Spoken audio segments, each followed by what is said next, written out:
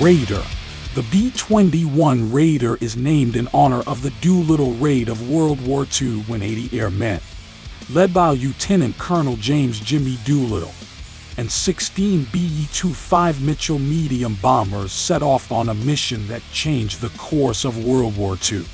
Actions of these 80 volunteers were instrumental in shifting momentum in the Pacific theater. This marked the raid as a catalyst to a multitude of future progress in U.S. air superiority from land or sea. The courageous spirit of the Doolittle Raiders is the inspiration behind the name of the B 21 Raider.